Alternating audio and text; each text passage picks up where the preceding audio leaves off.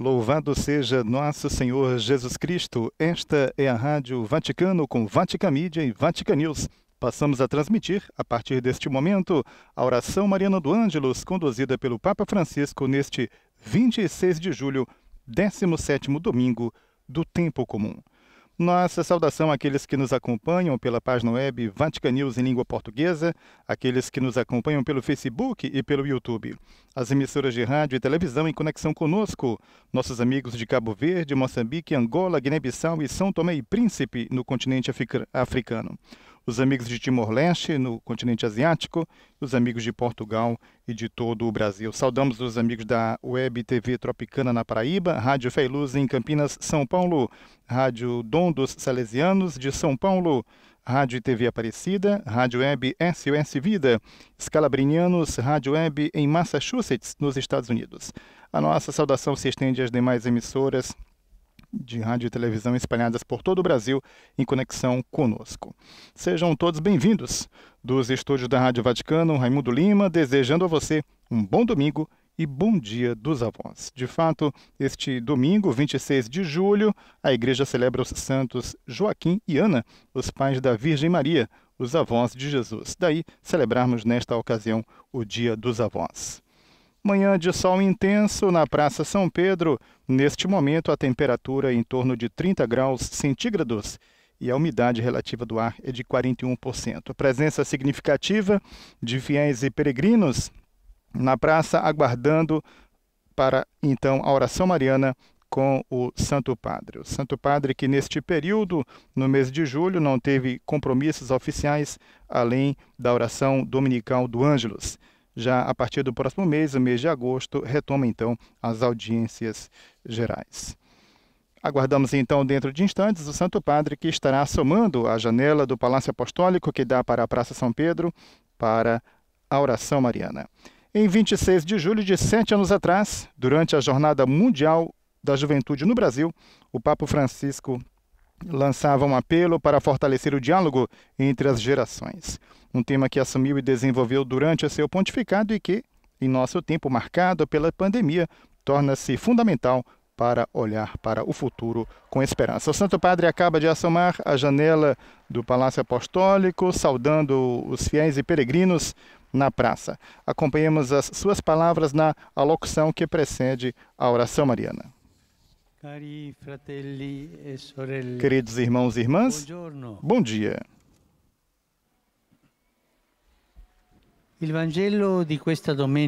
O evangelho deste domingo corresponde aos últimos versículos do capítulo que Mateus dedica às parábolas do reino dos céus. O trecho compreende três parábolas brevemente acenadas e muito curtas. A do tesouro escondido, a da pérola preciosa. E a da rede lançada ao mar. Detenho-me sobre as duas primeiras, nas quais o reino dos céus é assimilado a duas diferentes realidades preciosas, ou seja, o tesouro no campo, escondido, e a pérola de grande valor. A reação daquele que encontra a pérola ou o tesouro é praticamente igual. O homem e o mercante vendem tudo para adquirir aquilo que tem mais a peito. Com estas duas semelhanças, Jesus se propõe envolver-nos na construção do reino dos céus, apresentando uma característica essencial da vida cristã. Aderem plenamente ao reino aqueles que estão dispostos a arriscar tudo são corajosos. De fato, tanto o homem quanto o mercante das duas parábolas vendem tudo aquilo que possuem, abandonando assim, abandonando assim suas seguranças materiais. Disso se entende que a construção do reino exige não somente a graça de Deus, mas também a disponibilidade ativa do homem. Tudo o faz a graça. Da nossa parte, somente a disponibilidade a recebê-la, não a resistência à graça. A graça, a graça faz tudo, mas requer a minha responsabilidade, a minha disponibilidade, porque é responsável por isso. Os gestos daquele homem e do mercante que vão em busca, privando-se dos bens, dos próprios bens para comprar realidades mais preciosas, são gestos decididos e radicais. Somente diria de, de ida, não de ida e volta, mas gesto de ida. E, sobretudo, feitos com alegria, porque ambos encontraram o tesouro. Somos chamados a assumir a atitude destas duas personagens evangélicas, tornando-nos também nós sadios buscadores inquietos do reino dos céus. Trata-se de abandonar o fardo pesado das nossas seguranças mundanas que nos impedem a busca e a construção do reino a ganância de possuir, a sede de lucro e de poder, o pensar somente em nós mesmos. Em nossos dias, a vida de alguns pode resultar medíocre e sem brilho, porque provavelmente não foram à busca de um verdadeiro tesouro. Contentaram-se de coisas atraentes, mas efêmeras, de luzes ilusórias, porque deixam depois na escuridão.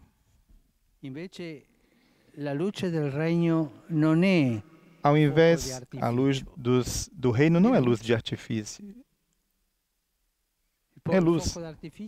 E os fogos de artifício duram somente um instante.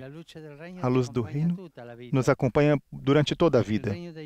O reino dos céus é o contrário das coisas supérfluas que o mundo oferece. É o contrário de uma vida banal.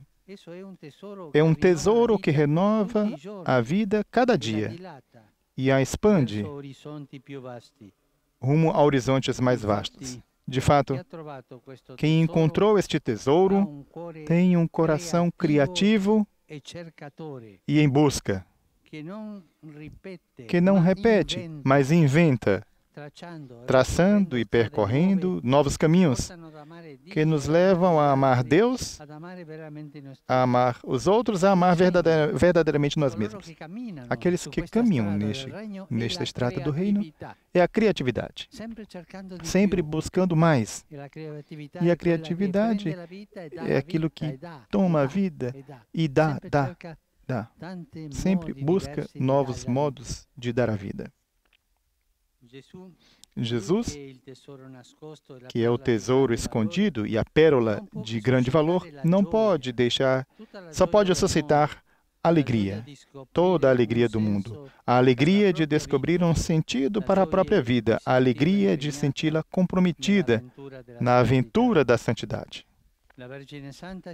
Que a Virgem Santa nos ajude a buscar todos os dias o tesouro do reino dos céus, a fim de que em nossas palavras e em nossos gestos se manifestem, se manifeste o amor que Deus nos deu mediante Jesus. Ave Maria, gratia plena, Dominus tecum, benedicta tui mulieribus et benedictus fructus ventris tui, Iesus.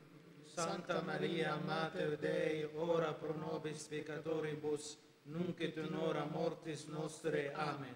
Ecce ancilla Domini. Fiat mi secundum verbum tuo. Ave Maria, gratia plena, Dominus tecum, benedicta tui mulieribus et benedictus fructus ventris tui, Iesus. Santa Maria, Mater Dei, ora pro nobis peccatoribus, nunc et in hora mortis nostre. Amen. Et verbum caro factum est. Et habitavit in nobis. Ave Maria, gratia plena, Dominus tecum, benedicta tui mulieribus et benedictus fructus ventris tui, Iesus. Santa Maria, Mater Dei, ora pro nobis peccatoribus, nunc et in hora mortis nostre. Amen. Ora pro nobis Santa Dei Genitris. Udini e ficiamo promissionibus Christi. Grazie a Tu, anque sumus Domine, mentibus nostris infunde, che angelo annunziante, Christi Fili Tu, incarnazione coniovim, per passione meius et crucem, a resurrezione gloriam perducamur, per Christum Dominum nostrum. Amen. Gloria Patri et Filio et Spiritui Sancto. Sic ut erat in principio et nunc et semper et in saecula saeculorum. Amen. Gloria Patri et Filio et Spiritui Sancto. Sic ut erat in principio et nunc et semper et in saecula saeculorum. Amen. Gloria Patri et Filio et Spiritui Sancto. Sic ut erat in principio et nunc et semper et in saecula saeculorum. Amen. Pro fidelibus defunctis, requiem aeternam dona eis Domine. Et lux perpetua lucet eis. Requiescant in pace. Amen. Sit nomen Domini benedictum. Ex hoc nunc et usque in saeculum. Aiutorium nostrum in nomine Domini. Qui fecit caelum et terram. Benedicat vos, omnipotens Deus, Pater, et Filius, et Spiritus Sanctus. Amém. Ouçamos agora a saudação do Santo Padre aos presentes na praça. Queridos irmãos e irmãs, na memória dos santos Joaquim e Ana, os avós de Jesus, gostaria de convidar os jovens a fazer um gesto de ternura em favor dos anciãos, sobretudo os mais sozinhos, nas casas, nas residências, aqueles que há meses não veem seus entes queridos. Queridos jovens, cada um desses anciãos é avô de vocês. Não os deixem sós. Usem a fantasia do amor, telefonem, façam videochamadas, enviem mensagens, escutem-os. Dove possibile, o- e onde necessário, no respeito pelas normas sanitárias, vão encontrá-los. Enviem a eles um abraço, eles são as raízes de vocês. Uma árvore separada da raiz não cresce não e flor frutti. e frutos. è Por isso é importante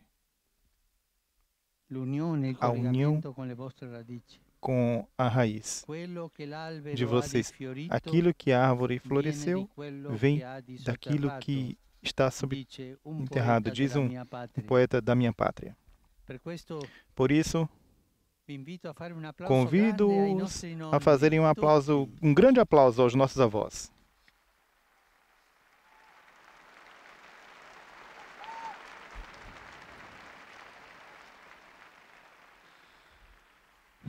Ho appreso che un nuovo cessate il fuoco riguardante l'area del Donbass. Soube de uma cessar-fogo na área de membri foi recentemente decidido pelos membros do grupo de contato trilateral.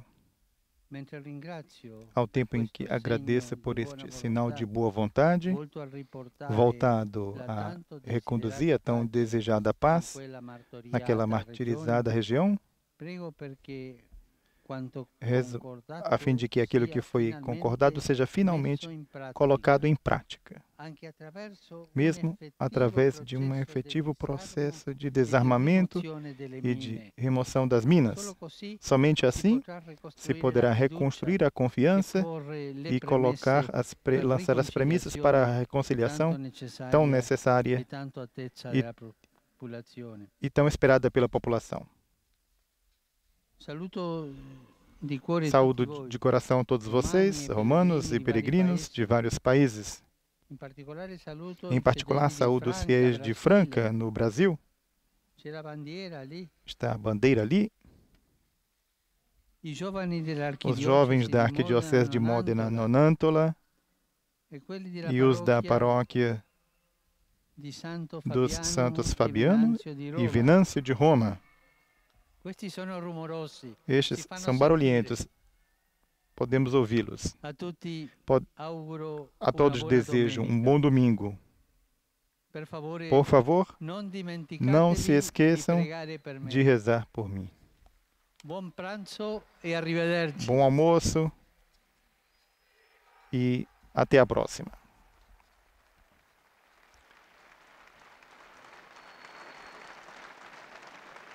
A saudação final do Papa, assinando para a multidão de fiéis e peregrinos na praça, antes de deixar a janela do Palácio Apostólico, concluindo assim a oração mariana do Ângelus neste 17º domingo do tempo comum. Como ouvimos, um aceno do Santo Padre aos, aos conflitos, eh, ainda nestas regiões eh, difíceis da África, e com um apelo de paz e um, um apelo a respeitar os acordos alcançados, a fim de que a paz possa finalmente ser alcançada, paz esta tão almejada pelos povos tão sofridos.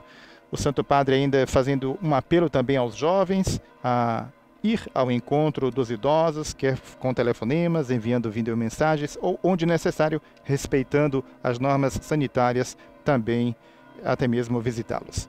Chegamos assim ao final do nossa, da nossa transmissão de hoje. Não, não nos resta que agradecer a você que esteve conosco. Mais uma vez a todos, desejando um bom domingo e um bom dia dos avós. Louvado seja nosso Senhor Jesus Cristo.